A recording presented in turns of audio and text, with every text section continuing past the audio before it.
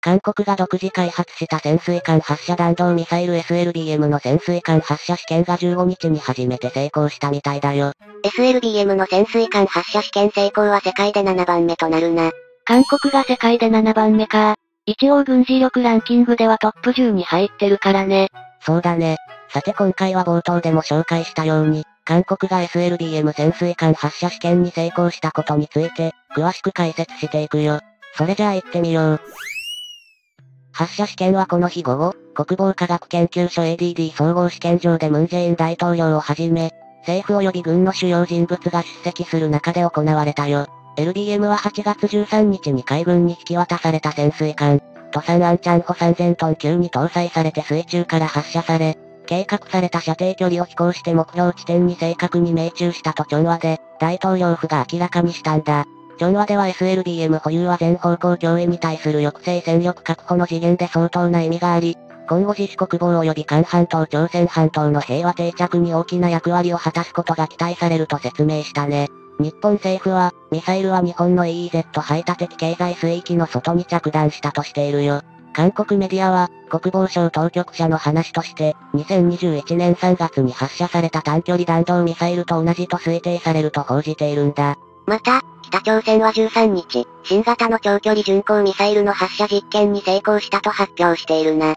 立て続けにミサイルを発射した北朝鮮だが、そのタイミングが注目されているぜ。実は韓国は9月、SLBM 潜水艦発射弾道ミサイルの水中発射試験に成功していて、最終発射試験が間近に迫っていたんだ。北朝鮮も SLBM の開発を進めているが、先を越された形で、最終試験直前のタイミングでミサイルを発射することで、兵器開発を進める韓国を威嚇する狙いがあると見られるね。今後、実験評価を経て軍に配備される予定で、SLBM を運用する国としては、韓国がアメリカやロシア、インドなどに次いで7番目になるとしているな。これに加え、新型の国産ステルス戦闘機に搭載する空対地ミサイルの発射実験も実施しており、また、超音速巡航ミサイルと弾頭重量を増大させた弾道ミサイルの開発に成功していることも明らかにしているぜ。ムンジェイン大統領は、国民がより安心し、誇らしく思える成果だとした上で、韓国の防衛産業の発展などで大きな意味があると評価したよ。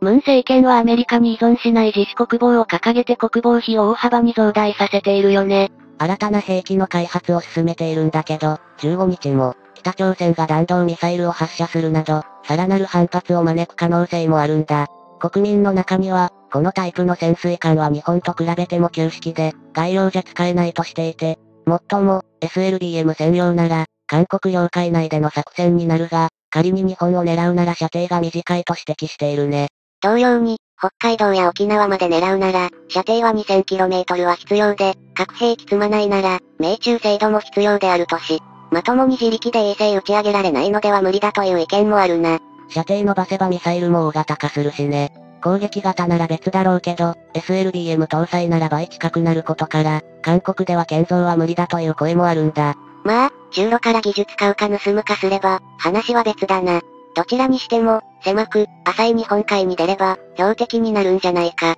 SLBM の場合は迎撃不可能という意見もあったね。選手防衛には良いかもしれないけど、東京に撃ち込まれれば、かなりな犠牲者が出るのは確実で、迎撃ではなく、日本を攻撃すれば、自分の国も壊滅するだけの即時報復の体制を作る必要があるとして、核はもちろん、電磁パルス兵器、ドローン兵器やレーザー兵器など、そして、日本すべてを網羅したレーダー網の整備と自動反撃システムの構築が望まれるとしているよ。ロケットもあのざまなのに、肝心の本体は正確に飛んでいくの不明だけどね。撃ち放ったら最後、どこへ向かうか神の溝知るってことにならなきゃいいけど。ミサイルを見当違いの方向に飛ばすなんてお手の物、むしろ英芸だからな。発射後行方不明になった魚雷もあるぜ。それに全方向脅威なんて言うと中国に蹴りを入れられるよね。はっきりと日本を敵国とみなしていると宣言すればいいかもな。世界はわかっているだろうが、ここは韓国自身の口から自慢げに言えばいいんじゃないか？きっ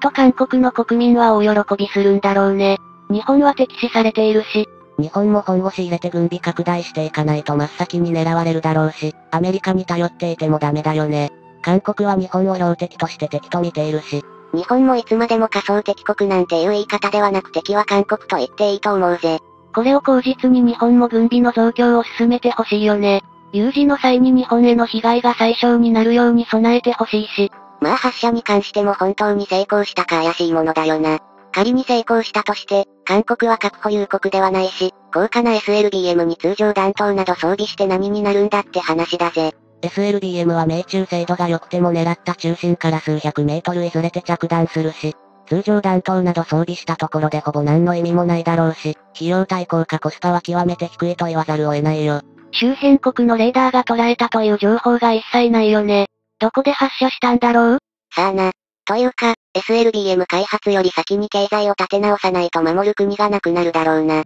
韓国海軍は源泉を建造する計画をしているらしいね。おそらく、今回の SLBM 発射試験はそのためなんじゃないかな。将来的には、SLBM 搭載の源泉を就航させるつもりってわけか。標的は、普通に考えれば大北には源泉は不要だし、日本か中国ということになるな。SLBM が完成しても発射する潜水艦が未完成では何の意味もないと思うけど、北朝鮮も作れているものを今更自慢しても仕方がないし、南北とも土台の潜水艦が完成していないところが同じで血は争えないよね。問題は先行できるかどうか、この前は先行どころか航行もできずに漂流してたからね。航行できない潜水艦なんて何の役にも立たないよね。笑いは取れるだろうけど。国がガタガタなのに潜水艦だ空母だ戦闘機だと金を使っているが、それらを使う前にきっと国がなくなっているな。そんな自慢な潜水艦も日本の信用保証なしでは原油すら買えなくなるだろうしね。それじゃあ今回はこの辺で。よかったら、チャンネル登録してね。